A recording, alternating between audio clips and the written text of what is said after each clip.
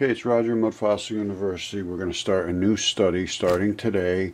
I have a guy that has biological labs that's taken an interest in the work and wants to set create a database of, these different organisms that live in different people's bodies and what is normal and what's not normal. I've been looking for this for a long time and I hope this plays out because it's it's it's exactly what I was hoping to get.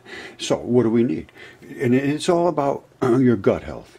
And I'm going to show you a couple things real quickly, but the key to this particular talk today is that we need people to step forward. We need people, we need autopsy people that can collect and uh, different samples in the body. I'll be talking about that in a minute. We need some other people that can test blood chemistry. The um, maybe have um, X-ray fluoroscopes or something of that nature. They can tell quantities and um, types of uh, elements that are in the blood because you need different metals in the blood to move these things around. This is a, a, a little bit of a complicated dance here, and we need um, to find out what bacteria types live in what particular environments because all your body is a huge different variety of, environments salts and acids and you know blood areas and areas where there's no blood where the tendinous stuff is and it's just a huge huge huge interaction between chemistry molecules transferring gases carboxylation they call it. a ton of i could bore you all day with chemistry and so forth bottom line people are sick. And I'm going to show you what can happen with just a few little microbiotics in a kid that has autism, serious autism. And bingo, just like that, by taking just some very basic uh, microbiotics, uh, uh, probiotics, pops them out of it. Now, I'm not saying everybody has that result, but we need to, uh, it's obvious that something in the body is creating either a toxin by uh, um, being living there and creating poop that is toxic to you. They have to live and they have to poop. That is the case. That's what's causing the problems. Now, are they also invading you and eating you, or are they just eating the stuff comes through you? If they're creating holes in your in your gut and everything else because of the toxicity of them, I don't know. Maybe they're eating you, maybe they're not. Maybe they're just living there and it's toxic waste. I have no idea. But if they displace the one that's supposed to be there, that's dealing with the bile, or is dealing with the acids, or is dealing with some of these other salts and these things that are invasive and corrosive and destroy tissues, they ruin the mucus. So enough of that. Let's. I'm saying it all starts in your gut, and you start looking up. I tell you what, right now, if you have any issue whatsoever, anything at all, headaches skin conditions, look it up and then look up digestive issues with the same thing, such and such and digestive issues. 100% hit.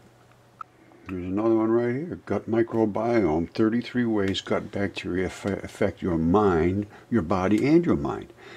You can go absolutely insane.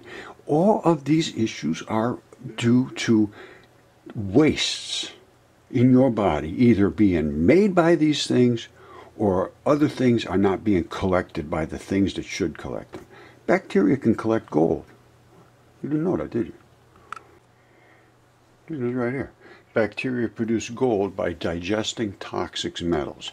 Same thing in you. When you eat things, whatever is in that thing you ate, you have to get rid of it in one way or another. If it is toxic, these bacteria eat it up. And what do they do with it? They make gold, which you, you want in your body.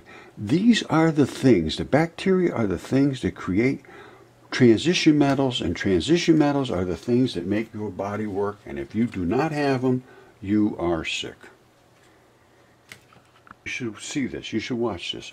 Krista Auricchio, Heal the Gut, Heal Your Life. Wanderlust. Fabulous. Fabulous. She is a marvelous speaker. And obviously knows what she's talking about. She's the exact same thing that I was talking about. She's better looking at my hands, too. I'm going to go through a couple slides. This is Marguerite's son, John. Fabulous young guy. He's nine years old. He's had severe autism since he was two. And I'm just going to play a couple of clips here. Now, I'm not sure what order they go in, but it's, uh, I believe the first one here will show him in a perfectly normal state of mind, just like any kid you'd see. And then when he does not have a, just an absolute basic thing called primal defense, it's from Garden of Life.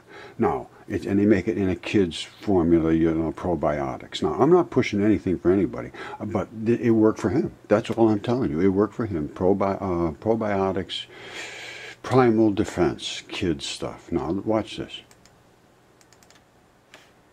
If I can make it. I think this is the one he's perfectly normal.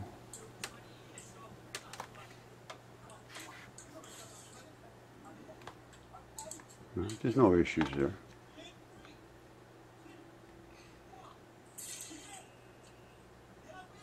She says he does this perfectly, and it lasts about 24 hours, just a cycle of it passing through his body. And if she can't get it the next day, he's got issues. Now let's go to this one. All right, I think this is the one where he hasn't been able, he wouldn't take it. she gives it to him in ice cream, and he wouldn't take it, and he goes into this stimming.